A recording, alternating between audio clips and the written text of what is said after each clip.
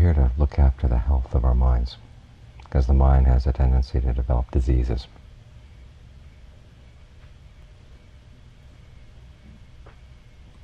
There's that passage in the Udana where the Buddha, after his awakening, surveys the world and he sees everybody on fire with the fevers of passion, aversion, and delusion.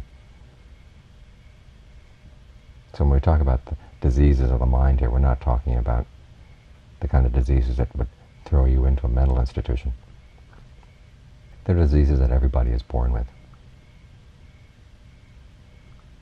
And the mind has these, it's like it carries these germs around inside. Or we might look at it as a lack of resistance to disease. Doesn't have its immune system up. And as a result, it just catches fire, catches these diseases. When the stimuli come in from the eyes, ears, nose, tongue, and body. And as you know, if you know anything about medicine, we live in a world full of germs. It's only when our resistance is down that the germs can take hold. And it's the same with the mind. And there are all sorts of things out there that would spark passion, aversion, and delusion. But it's only when our resistance is down that these things actually come into the mind and take over. There are times when you can look at something really beautiful and feel no passion at all. When events can be really bad and there's no aversion it's a sign that your resistance is, is on a high level. Your immune system is working.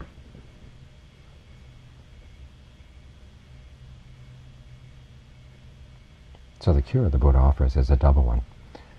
Just as a stopgap measure, he says, okay, practice restraint of the senses so you don't take in too many germs from outside.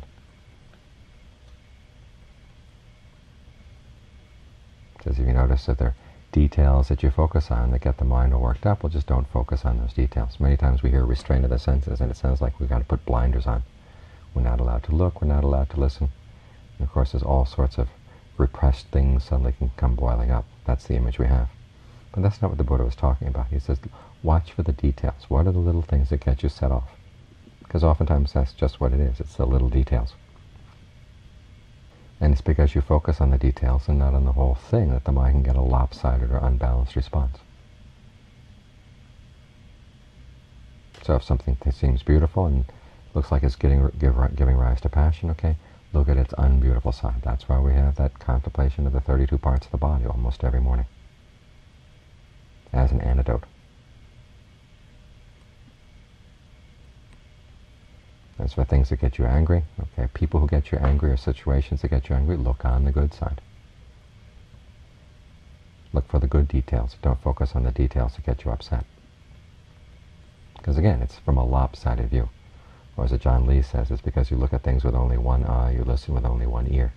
So you see only one side of the situation. And as you're looking at both sides, okay, that that helps get rid of delusion. So that's the stopgap measures, restraint of the senses. And you find if you really are diligent in practicing it, it gets a lot easier to practice meditation. The problems we have in the course of the day that we leave our mind on a long leash and let it get involved in all kinds of stuff. Then when the time comes to meditate, it's like a dog on a long leash. You've got to pull here and unwrap it as the dog has gotten wound around the lamppost, wound around a bench, wound around all kinds of stuff. By the time you've unwound it, the meditation session is over. In the meantime, it hasn't just got wound around things, it's also picked up all kinds of germs. And you've got to sit here treating it because it's picked up a lot of unnecessary stuff. But if you find that you really do exercise restraint over the senses and notice, okay, when the mind is getting worked up in any of those directions, and you counter it immediately, that's developing mindfulness and alertness right there. So you're strengthening your immune system at the same time that you're keeping germs from coming in.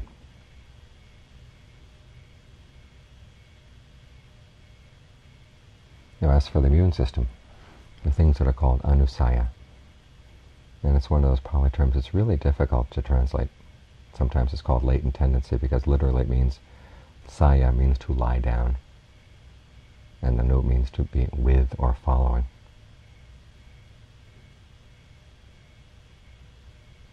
But you look at the way it's used in the text, it's more like obsession.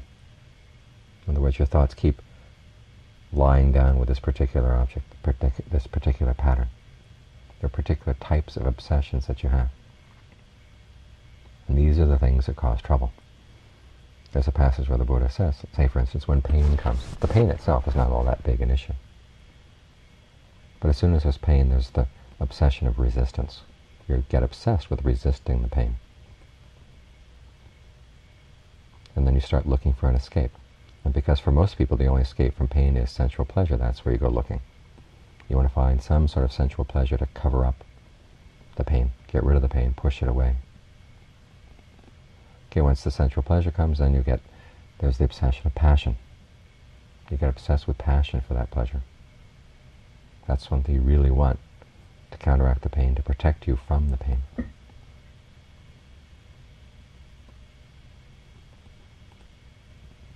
And as for delusion, okay, that's that usually centers around feelings that are neither pleasant nor painful, kind of neutral feelings.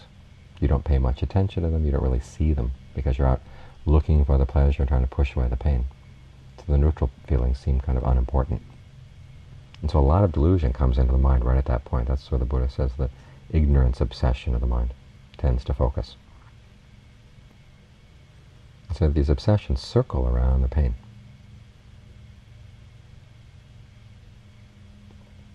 And it's these obsessions, those are the problems with their, immune system. because the immune system of the mind doesn't work quite like the body. There has to be an understanding that you have alternatives to the ways you ordinarily react to, say, pain or pleasure.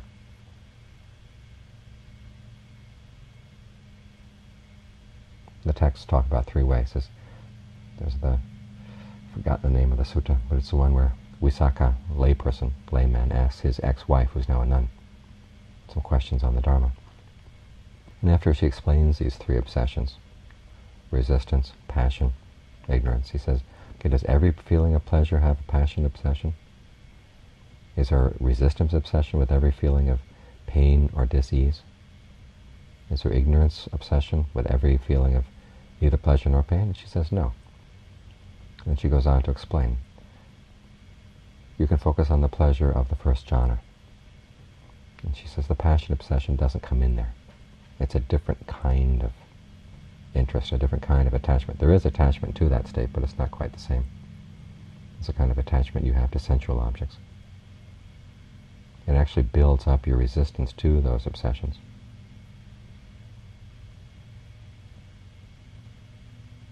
The desire for awakening, she says, even though it's maybe unpleasant to think about how far you have to go or how much you want to be awakened and you're not awakened yet, she said it's still a useful, unpleasant feeling a lot of people say, oh, don't get let yourself have the desire for awakening because you're going to make yourself miserable.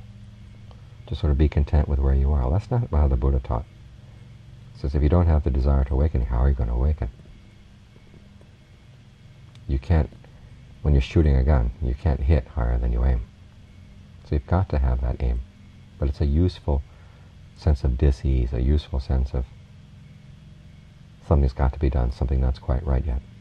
But it's in the course of that useful disease, okay, there is no res there's no obsession with re resistance. So that helps break this cycle of these these obsessions. As for the ignorance obsession that tends to hang around neutral feelings, okay, so you can cut through that with the with the fourth jhana. When the mind settles down to a state of neither pleasure nor pain, total equanimity, purity of equanimity and mindfulness, it's called. Okay, there's no ignorance obsession there.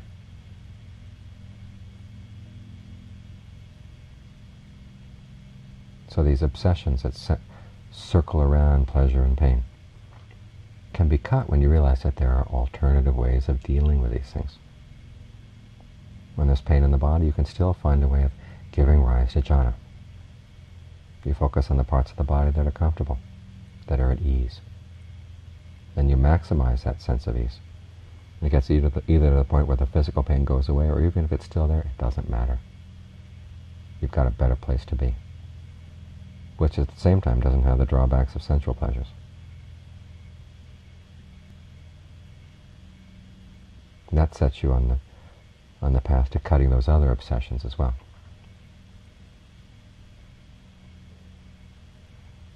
So the work here is twofold, just as it is when you're trying to protect the body from a disease. On the one hand, you don't expose the body to more germs than it has to be exposed to. And then secondly, you build up your resistance. Strengthen your resistance. Strengthen your immune system. The mind's immune system starts with the practice of jhana, the practice of good solid concentration. So you can cut through those obsessions. Because if you don't cut through those, as the Buddha said in his sutta on the, the two arrows, say there's pain in the body. It's like being shot with one arrow. Then these other obsessions get involved with the pain, and it's like shooting yourself with another arrow. Although for most of us, it's not a second arrow, it's a third, fourth, fifth. Lots of arrows get shot there, right in the mind, over one little pain. It's even worse over big pains. In other words, the germ gets in and it just takes over.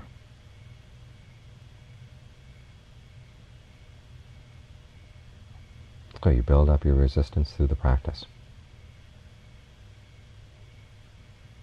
And ultimately, when, when discernment finally breaks through, say to the ultimate level, then, then you can go wherever you want and no germs can touch you because your immune system is totally in control.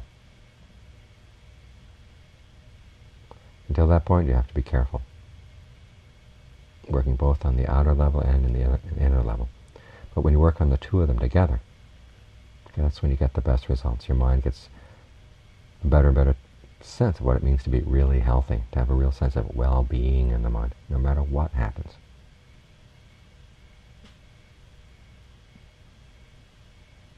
Because you know the basic principles of looking after the mind's health. After all, the Buddha said he was a doctor for the mind. This is the kind of medicine he practiced.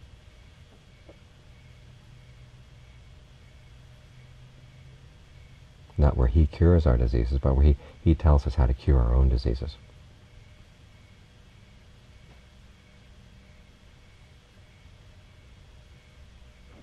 Which is what we're doing right now.